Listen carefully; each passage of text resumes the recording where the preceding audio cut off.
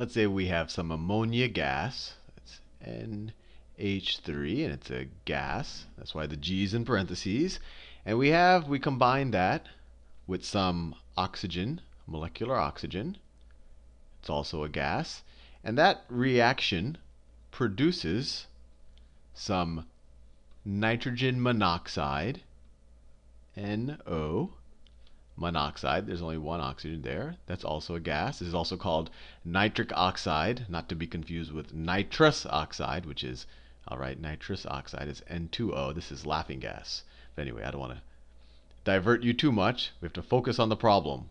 So this is nitric, nitric oxide, or nitrogen monoxide. It's a pollutant. I think it comes out of some cigarette smokes. I think it's used in the body as well. You could, you could look it up on the internet nitric oxide. Ammonia is an important fertilizer. You know all about oxygen. And, and this also yields some water. So plus, plus some H2O. And we're told that we're given 34 grams of ammonia. This is the ammonia right there. So 34 grams of ammonia. And we're given 32 grams of oxygen. 32 grams of oxygen. And this is going to be the oxygen molecule. O2. So the question is, is how many grams of nitrogen monoxide or the, or the nitric oxide are going to be produced? So how much of, of the NO, just the NO is going to be produced in grams, NO. So this is a stoichiometry problem. And so the important thing first is to just make sure we have a balanced equation before we even start anything. And lo and behold, we don't have a balanced equation. Let's, let's confirm that it's not balanced. So let's see, we have one nitrogen here. We have one nitrogen there. That looks balanced so far. We have three hydrogens here. And remember, the pattern is start with the complicated stuff, leave the single atom molecules for last, because those can you can fix at the end without messing anything else up. Hydrogen, we have three hydrogens on the left-hand side. On the right-hand side, we have two hydrogens. We have two hydrogens. So let's see how can we make, how can we have three hydrogens on the right hand side? If we multiply this times 1.5, see 1.5, now we have three hydrogens on this side. 1.5 times 2, we have three hydrogens on the right hand side. Things are looking good. Okay, now on the right hand side, how many, see we have two oxygens on the left hand side. We have two here. How many oxygens do we have on the right hand side? We have one oxygen here. And then you have one oxygen in this molecule, but we have a one and a half of the whole molecule. So we have one and a half oxygens, and then we have one more oxygen. So we have two and a half oxygens on the right hand side, and we only have two in this molecule. So what do we have to do? How can we get two and a half oxygens here? Well, if we multiply it, if we multiply it by 5 fourths, or you know 1.25, right? 5 fourths 5 fourths times 2 is 5 halves, which is 2 and a half. So now, right, we have 2 and a half oxygens. 5 fourths times 2 is 2 and a half. 1 plus 1 and a half is also 2 and a half. So now we've balanced our, well, we're not balanced yet. We can't leave this equation with just these, these weird decimal numbers over there. So let's rewrite it. Let's multiply the entire equation by, if we wanted to get rid of all of the all of these, we can multiply the entire equation by 2. No, no, not not 2. We don't want to multiply it. We have to multiply the entire equation by 4 to get rid of this 4 in the, in the denominator. So we multiply the entire equation by 4. We have, let me do it down here. We have 4, 4 molecules of ammonia. Or we could even think of it in terms of moles. Right now I'm thinking of individual molecules. We could say, oh, we have 4 moles of ammonia. 4 times 4 times 6 times 10 to the 23 molecules of ammonia. Either way, it all works out. You're, hopefully you're trying to see the value of moles. Plus 5 molecules of, I'll just think of it in terms of individual molecules for now. Plus 5 molecules of molecular oxygen. And remember, we're thinking of things in terms of, in, in, in terms of, uh, in, in, in terms of, actually I, don't, I forgot what I was going to say and we're just multiplying everything by 4. That's what we were doing. Yields, it's late in the day, 4 moles of ammonia of, of nitrogen monoxide. So 4 NO plus, we multiplied both sides by 4, so plus 6 waters. 6 H2O. So there you go. We got a, some good practice balancing equations. So let's go back to the original problem. We're given 34 grams of ammonia. 34 grams of this. So what we need to figure out is how many moles of ammonia were we given? So what's the atomic mass of ammonia? Or not the atomic mass, what's the molecular mass of ammonia? Nitrogen, let's say we're dealing with nitrogen 14, so it has a mass number of 14. Oxygen has a, or we're dealing with nitrogen. Hydrogen has a mass number of 1. So each nitrogen, so has a mass of 14. And then the hydrogens each have a mass of 1. Remember, hydrogen is kind of strange. It doesn't have neutrons, or at least in its most traditional form. So it has just a mass number of 1. It's just a proton and an electron if it's neutral. So this is 3 times 1. Right? We have three hydrogen atoms. So the mass, the atomic mass of one molecule of ammonia is 14 plus 3 is 17 atomic mass units.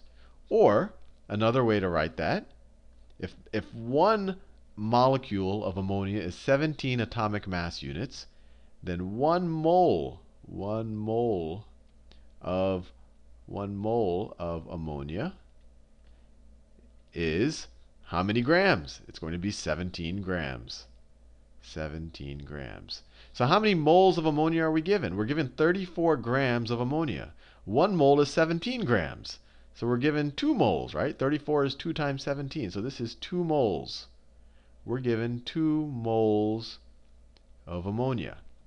Let's see how much oxygen we're given, or how much of the molecular oxygen we've, we've been given in this case. So let's see, the atomic, the, the mass of just oxygen by itself is 16, right? The mass of just oxygen, just the atomic oxygen. It's careful. You have to be a little bit careful here because sometimes people say, "Oh, we have 32 grams of oxygen," where they're really talking about the molecular oxygen, right?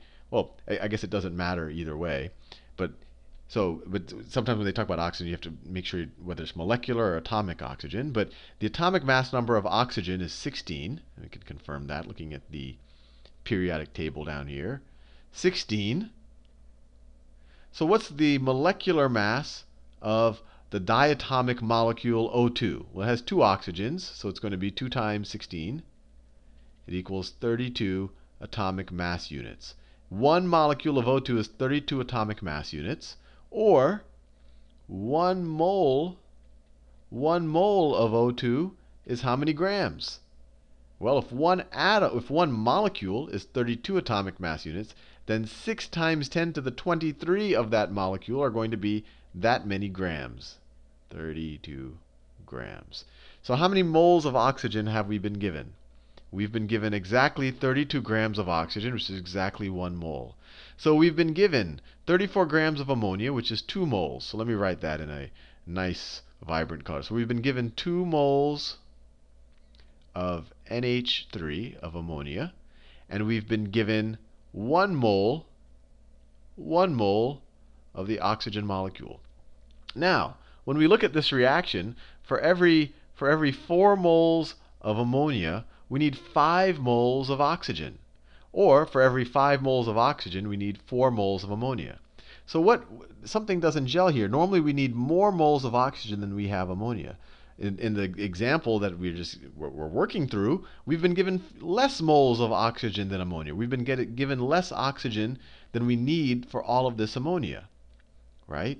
In an ideal world, if we had two moles of ammonia, we would need two and a half moles of oxygen right? The ratio of ammonia to oxygen, let me write that down. The ratio in a different color, this is getting boring. The ratio of ammonia, NH3, to oxygen in our in our balanced equation, let me put that in a, in a square so you know this is the most important part of what I'm writing. The ratio in this reaction is 4, 4 to 5, right? So if I'm given 2 moles of ammonia, if I'm given 2 moles of this, so this is equal to what? If I'm given 2 moles of ammonia, how many moles of oxygen do I need? I need 2.5 moles of, ox of oxygen, right? Whatever this is, is that right? Yeah, 4 fifths, right? 1.25, right? Right. If you doubled both of these numbers, you get 4 over 5, right? So I need 2.5 moles. But I don't have 2.5 moles of oxygen. I only have 1 mole of oxygen. So oxygen is going to be the limiting reagent in this reaction. Limiting reagent. I don't have enough oxygen. I have plenty of ammonia, but I don't have enough oxygen to react with it. So this is the limiting reagent. Limiting reagent. And I said before, you can just, the word reagent and reactant, they're used interchangeably. But when people talk about the limiting ones, they tend to call it the reagent. So oxygen is a limiting reagent. So we have extra ammonia. So given that we have one mole of oxygen, how many moles of ammonia can I react with that? How many moles of ammonia can I react with that? So the the the this this this reaction is going to look something like this. I only have one mole of oxygen. So instead of 5O2, I have to write 1O2. And if I have, let me make sure it's not a 10. So it's 1O2. Let me do it in a different color because I don't want to think I have a I only have one O2 instead of five O2s. So how many ammonias are going to react with that? Well, the ratio is 4 to 5. So I'm going to have 0.8 ammonias, right? 4 is to 5 is 0.8 is to 1. And so essentially, if I take that whole this whole equation up here and divide it by 5, I'll get what's actually going to happen. So this divided by 5 is 0.8 nitric oxide or nitrogen monoxide plus 6 fifths moles of H2O. And so the question was, the original question at the beginning is how many grams of nitric oxide are we going to produce, or nitrogen monoxide? So how many grams are we going to produce? So we have 1 mole of oxygen, 0.8 moles of nitrogen of ammonia, and we're going to produce 0.8 moles of nitrogen oxide, or not sorry, not, not, of nitrogen monoxide right? Because we only have one oxygen. So 0.8 moles, 0.8 moles of nitric oxide or nitrogen monoxide. So what's the atomic mass, the molecular mass of nitrogen monoxide? Nitrogen is 14, has is 14 atomic mass units. Oxygen is 16. All right, we've done that before, but you can confirm here. Oxygen is 16, nitrogen is 14. So one molecule of nitrogen monoxide is going to, so one at one molecule, molecule of nitrogen monoxide is equal to 30 atomic mass units. One mole, one mole, or 6.02 times 10 to the 23 molecules of nitrogen oxide, therefore, will be 30 grams. And how many moles are we producing in this reaction? Because oxygen was the limiting reagent. We only had one mole of oxygen here. Because of that, we can only produce 0.8 moles of nitrogen monoxide. So 0.8 moles of nitrogen monoxide. One mole is 30 grams. So 0.8 moles, moles of NO is going to be equal to 0.8 times 30, which is equal to 24 grams. 24 grams. So we're going to able we're going to be able to produce 24 grams of nitrogen monoxide. And so you might ask the question, look, we're only using we're only using 0.8 we're only using 0.8 moles of ammonia. We were given in the original problem, we were given 2 moles of ammonia. We were given 2 moles of ammonia. So what happens with all the leftover ammonia? Well, assuming we mix it really good, we're going to literally end up with 1.2 moles of ammonia just doing nothing at the end. So we're going to end up with, so we're going to have 24 grams of nitric oxide, and then we're going to, we used, we used 0.8 moles of ammonia, and we're going to have left 1.2 moles of ammonia. And if you want, you can figure out how many of the original grams of ammonia that is. You just figure out how many grams one mole of ammonia is. It's 17 grams, and then just multiply that times 1.2. Anyway, hope you found that interesting. If, if you found this a little bit confusing, just, just watch the video again and pause it and try to solve it yourself. But I think it, it just start making a little bit of intuitive sense. I think the hard part is just the conversions between moles and grams and getting that part right. And then making sure that you understand the ratios. And you understand, hey, this is a 4 to 5 ratio. There's always going to be less ammonia than oxygen. If I only have one mole of oxygen, I'm going to have to have less than one mole of ammonia, even though I was given two. So oxygen in this example was the rate limiting factor. If I had, let's say I had, um, I don't know, let's say I had 10 moles of oxygen and 2 moles of ammonia. In that case, ammonia would have been the rate limiting factor because then I would have had more than enough oxygen. Because for 2 moles of ammonia, I only need 2.5 moles of oxygen. So 10 moles would have been overkill. Anyway, see you in the next video.